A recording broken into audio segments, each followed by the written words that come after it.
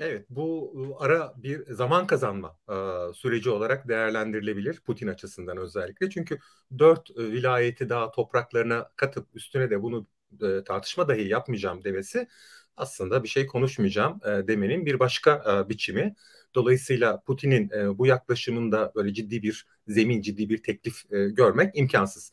Çünkü çok minimal düzeyde barış umudu, ııı, oluşturan görüşmeleri hatırlayacak olursak en son İstanbul'da yapılan, eee, görüşme çerçevesinde yani, eee, NATO'ya katılmaması, ııı, Ukrayna'nın, eee, demilitarize olması ve işte aşırı sağın tasfiyesi gibi birtakım işlerin yanında Kırım'ı biraz geride bırakıp Donetsk ve Lugansk'ın, eee, efendim, eee, geleceğinin, eee, tartışılabileceği bir denklem aranıyordu.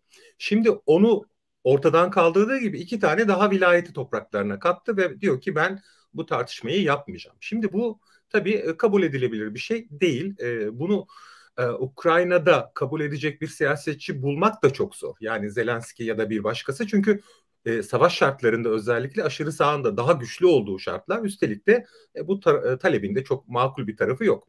Şimdi tabii bu bölgede yaşayan, Rus dilli ya da, Rusya'ya yakın halkın, ahalinin, eee, ne istediği, ne yapacağı bahsi diğer ama bir toprak ilhakı bambaşka bir şey. Üstelik de başlangıçta ilan edilen, eee, şartların içinde de yer almıyor. Yani Putin'in, eee, savaşa gerekçe olarak sunduğu şartlar arasında yer almıyor. Bu bakımdan bu masanın, yani bir hayli ötelenmesi demek.